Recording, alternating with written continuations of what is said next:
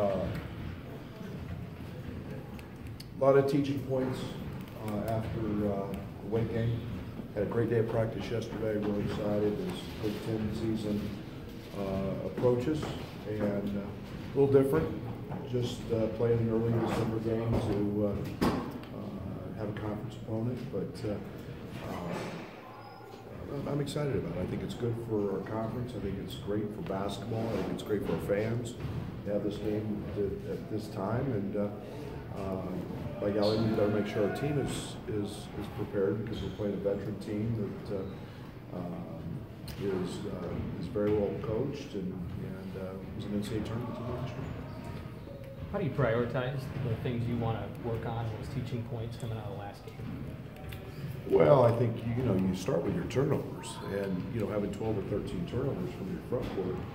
um, And, and we got the ball where we wanted to get it. We just, we rushed and we did some silly things and, and uh, those are things we can actually control. Uh, is, is, is how we do that and how we go about that. Uh, fouls, know, we gave up 12 points and committed six fouls in the backcourt uh, after the other teams secure a rebound. Uh, those are those are senseless fouls. Those are things we've got to grow from and learn. We want to be aggressive, but we want to be intelligent while we're doing it. And uh, I think the one thing that is, uh, you know, five points on uh, out of bounds points. But, you know, close game, those those those factor in, and uh, you know, you take those all those put together, and you're talking 23, 24 points, and you've got the six point play, and you know, all of a sudden you start looking, and that that score's flipped. So those are things we we we tried to prioritize and work on, and and uh, and get better at, and when we see that we can control those, not the other team, uh, a lot of teaching points in that. You beat Northwestern last year, Illinois did, before you were here. Do you look back to that much, or is it a different system you have. Jamall's Jamall's had the scout, so Jamall's taken some points from that. Uh, I have not. I've just focused on this year's team and, and our style and, and how it fits. And then, but there's there's some teachable moments from, from last year, no question.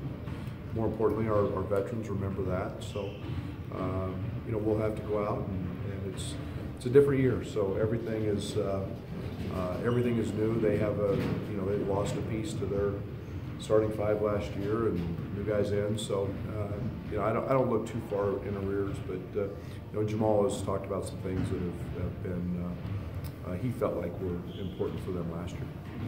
Almost a month in, are you where you would have hoped you would have been at this point? And did you have a marker of like, okay, we're a month in or two months in, let's be at this point? Uh, you know, I, I, every team's different, so I don't try to set those. Um, I, you know, I think that every team can move a little quicker. Next year we'll move quicker because it's year two than we were this year. This year's about laying a foundation and teaching the fundamentals. We're, uh, do I wish we had a few more things in? Absolutely. Uh, but there's a point of, of giving them too much and then not doing anything very well. And uh, uh, I don't want to do that. And I want to get good at our base stuff, our foundation stuff. Um, but I don't, I don't put a limitation on, you know, there are certain things that, that you know, year three when I was a Stephen F, we, we, we flew through some things pretty quick and scouting reports were a breeze and, and, and we're still grinding through all that stuff here.